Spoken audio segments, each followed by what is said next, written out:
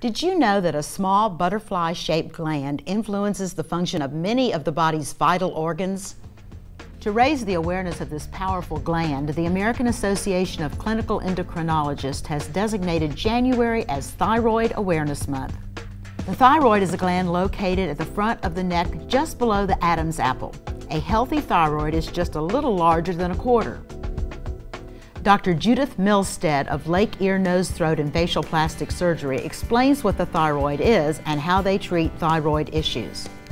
The thyroid is a butterfly-shaped organ right in the low neck, and its job is to regulate the metabolism. There's three hormones, the TSH, which is sent by the brain telling the thyroid how hard it should work. And then there's an active form of the thyroid hormone, and then there's a storage form of the thyroid hormone.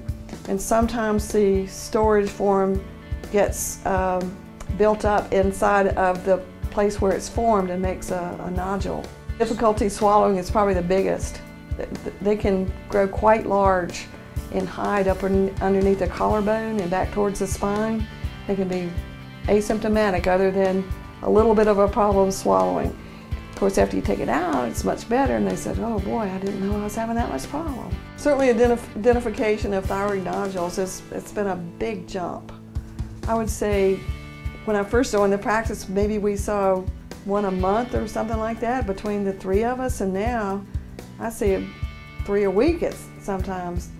Probably better uh, investigation techniques. Used to have to wait till the person was choking or having something wrong with the metabolism before they could even be identified. Now you can find them before they start giving you trouble. There's a lot of new technology associated with surgery and uh, diagnostic techniques. If they're cancerous, then we start looking for spread. If we do find spread, then we try to take it out at the same time we find it. We try to be so people-oriented. I mean, we try to treat everybody like they were related to us because that's the only way to, to practice. We just try our hardest just to do the, to get everybody in, take care of everybody. More than 60,000 people are diagnosed with thyroid cancer each year in the U.S., according to the National Cancer Institute. But fewer than 1,900 Americans die from this disease annually.